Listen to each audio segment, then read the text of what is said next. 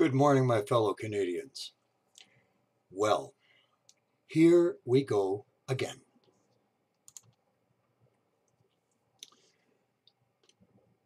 Teflon Trudeau strikes again.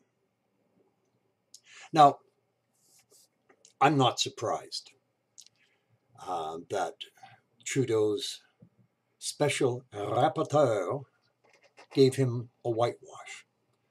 There are several constants in this world. Sun rises in the east and sets in the west. The tides rise and the tides fall. Trudeau lies. These are like constants. You can take this to the bank. This is just immutable law of nature. Trudeau has no morals. He has no ethics. He is an arrogant, spoiled buffoon. Now, the fact that Johnston whitewashed Trudeau, that doesn't bother me, and nor surprise me. The fact that Trudeau has been given a pass by his um, ass kissing bum buddies, that doesn't surprise me. Before this hearing even took place, as soon as you read Johnston's pedigree, you knew what the result was going to be. I knew as soon as I read the man's pedigree, I knew that Trudeau was going to get a pass. Uh, it's the same thing with the hearing regarding the uh, truckers' convoy, the freedom movement.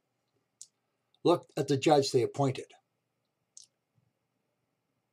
You know, um, when Brenda Lucki was uh, in charge of the RCMP, was there ever a prosecution brought, even where there were illegal actions on the part of Trudeau and the Liberal government?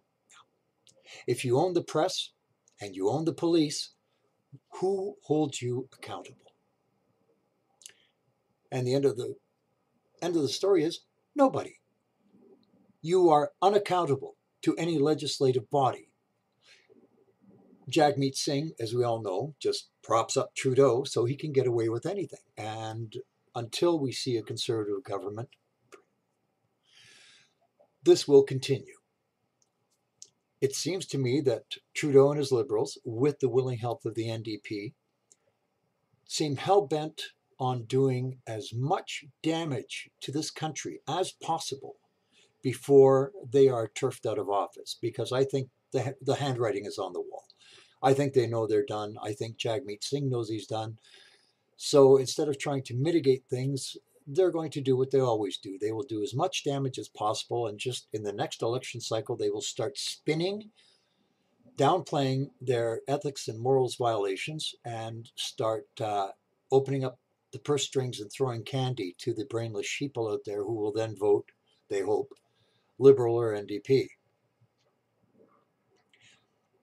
What bothers me about all this, about this latest piece of stupidity, is how overtly blatant the corruption is with a total lack of concern for perception on the part of the Canadian people. Yes, I'm screwing you, but I'll just say I'm not. And people said, oh, well, he's not screwing us because he said so. Really?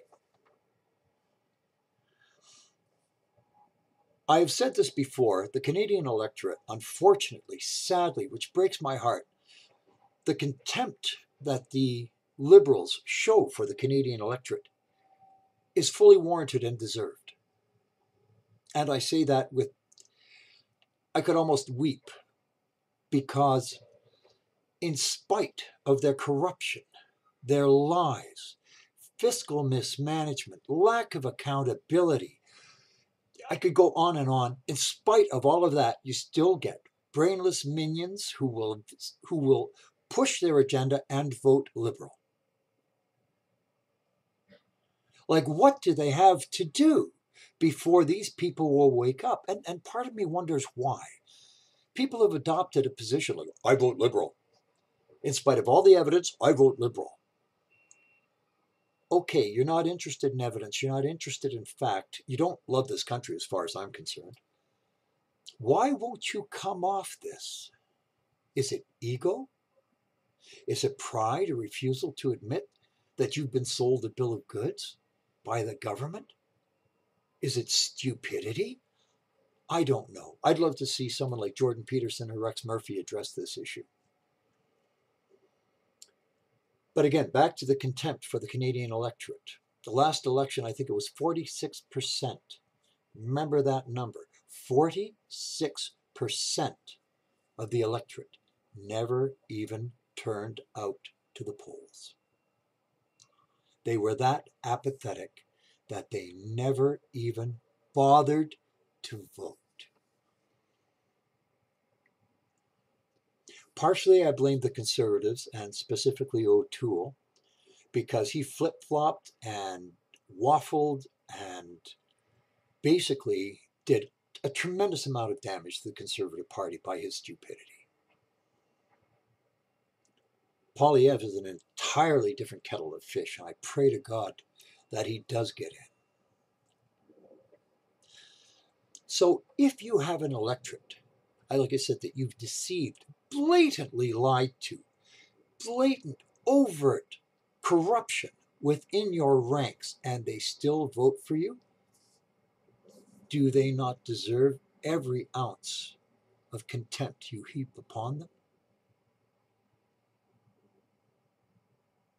My personal feeling, yes, they do. As a people, we do.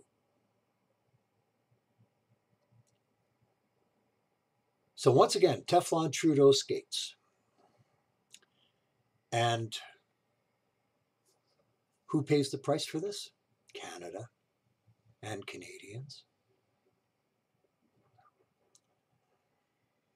If you love this country, if you truly love this country, as I do, and you truly believe that Canada has a future, a good future, properly managed, as I do, please, for the love of God, vote Conservative. Vote for Poilievre in the next election. Because right now, from where I sit, from the standpoint of my advanced years, that's the only hope, the only hope we have of pulling Canada's chestnuts out of the fire, putting us back into respect in the international community. So, there's my morning rant. Thank you, people. Have a great day.